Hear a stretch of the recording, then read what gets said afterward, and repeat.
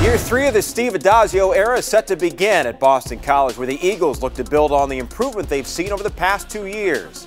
Pleased to have the coach with us. And, coach, after Saturday's scrimmage, you said that your team still has a way to go to here to improve. Where do you prioritize? What did you address first after that scrimmage? Well, I mean, I just think that we're still, you know, formulating the, the chemistry of, of the units. So, where do we go? Um, I think we continue and we want to see the growth from week one, scrimmage one, to scrimmage two. You were very uh, open and honest and candid of your assessment of Darius Wade. Where does he need to improve the most? Well, I think that, you know, he has to work on his leadership in terms of driving the unit. And I just think, you know, just fundamentals, decision making, experience. I mean, he's got a lot going on. He's a very sharp guy, but he's got a lot going on.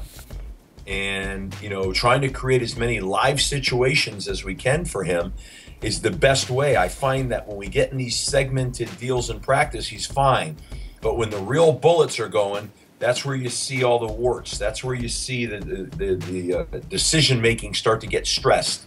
Defensively in the ACC last year, BC third in total defense, number one against the run, and a little bit further though down the list in defending the pass. Is that where you want to see the biggest improvement this year?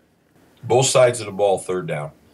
On offense, stay on the field on third down, and defense get off the field. As simple as that. I mean, we've got to do a better job throwing and catching on third down. We've got to do a better job defending the pass. But just get off the field on defense, stay on the field on offense.